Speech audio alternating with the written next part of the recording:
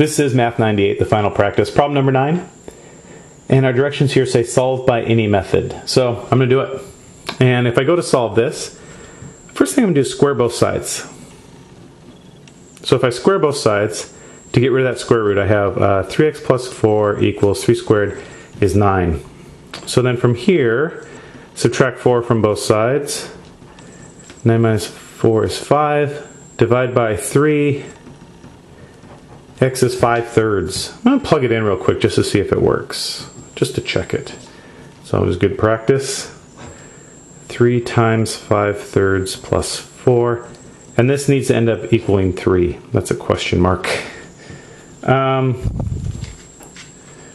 3 times 5 thirds, 3 divided by 3 is 1, so this is the square root of 5 plus 4. 4, oh yeah, that's 9, that's 3. Good.